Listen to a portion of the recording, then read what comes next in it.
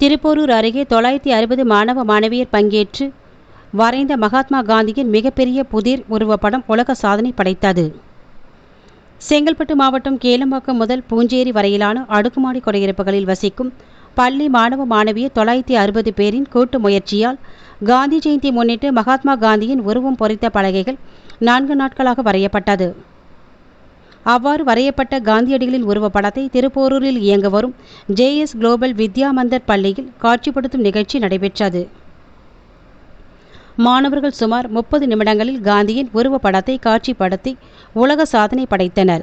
உலக சாதனைக்கான விருது மற்றும் சான்றிதழை கிராஃப்ட் ஒர்க் ஷாப் நிறுவனம் பள்ளியின் தலைவர் செந்தில்குமார் மற்றும் தாளாளர் ஜனனி செந்தில்குமாரிடம் வழங்கியது.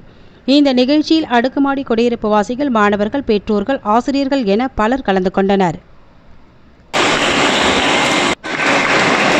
Gracias.